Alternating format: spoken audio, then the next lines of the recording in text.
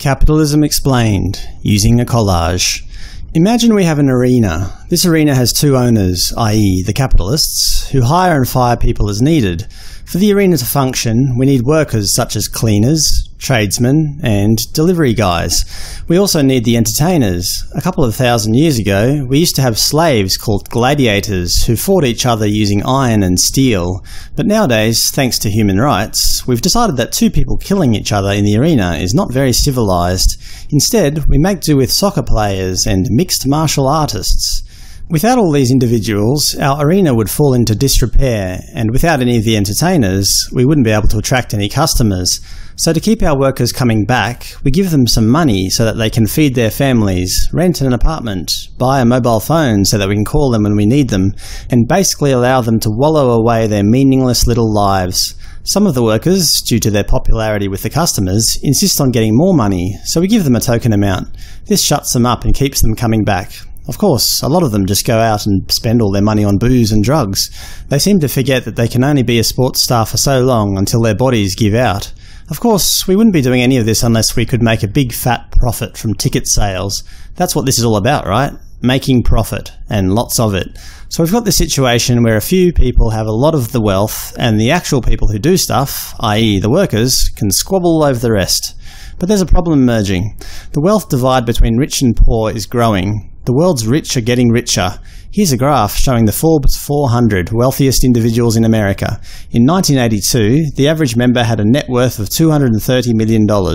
Fast forward to 2016, the average member had about $6 billion, which is over 10 times the average from 1982, taking into account inflation. If we look at the richest member on the Forbes list, we can see that in 1982, the richest guy was only worth $2 billion, but in 2016, $81 billion. Why any one person would need so much wealth is beyond me. The global distribution of wealth is also extremely skewed. The top 1% hold 50.1% of all the world's wealth. The top 5% hold 76.4%. That's astounding. The bottom 50% of the world only hold 0.6% of the world's wealth. Unbelievable. This is what capitalism has created. Huge wealth disparity and a rising underclass. This graph tells it all. The top 0.1% hold as much wealth as the bottom 90%, and it's only getting worse. The last time that such wealth disparity has occurred before was just before the Great Depression of 1929 to 1939. Slowly but surely, wealth got back into the hands of the many. But it looks like we're making the same mistake again. We're allowing the wealthy to hoard all the wealth again, and it can only end in disaster.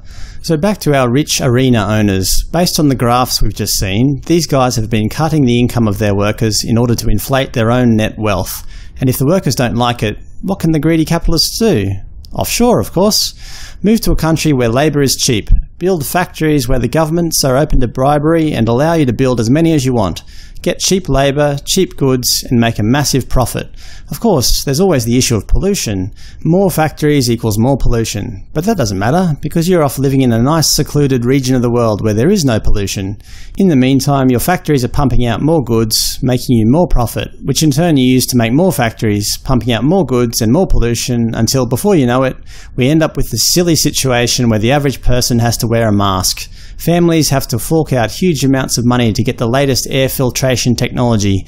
Of course, most people can't afford this. According to Matthew Kahn, a professor of economics at the University of Southern California, Beijing has become a place where the rich live in cleaner parts of the city and on more polluted days they can drive to work, work inside, access better doctors, have second homes in the countryside, and have expensive and effective air filters.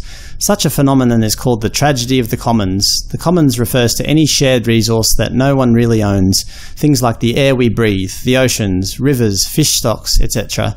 The problem with capitalism is that it doesn't consider these things important until it's all too late. Even though we're living in the year 2017, places like China and India still put economic activity above their own people's health. They let the rich multinationals come into their countries, build factories, and create an environmental disaster, all in the name of profit. Occasionally we do get angry and demand that the rich pay their fair share. We demand tax increases and better wealth redistribution, but the millionaires and the billionaires fight tooth and nail against it. With the revelations of the Paradise Papers and the like, we know that the rich are simply shifting their income offshore to countries with little or no income tax. Large companies buy so-called business services in order to move their profits offshore, avoiding huge amounts of tax in their most profitable markets. Australia is losing at the very least billions of dollars of tax revenue, if not tens of billions of dollars every year due to these greedy multinationals, and we're letting it happen. According to ABC's Stephen Long, if the middle class and the working class are bearing a disproportionate share of the tax burden, trust in democracy is undermined.